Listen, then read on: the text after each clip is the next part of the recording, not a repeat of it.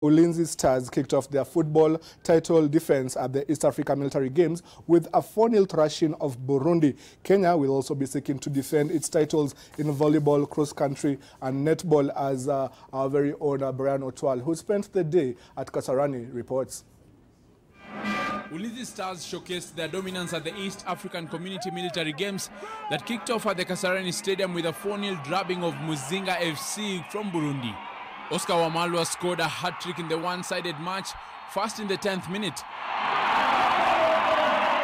Before adding the second 10 minutes after the break. 2018 KPL season top scorer Enosh Ochieng added the third. Before Wamalwa completed his hat-trick in the 86th minute.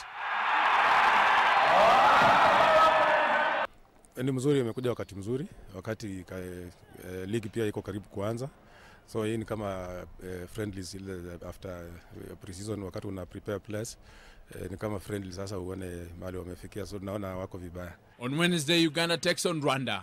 The 12th edition of the East Africa Military Games brings together teams from six countries to participate in five disciplines, including football, volleyball, netball, basketball, and cross country.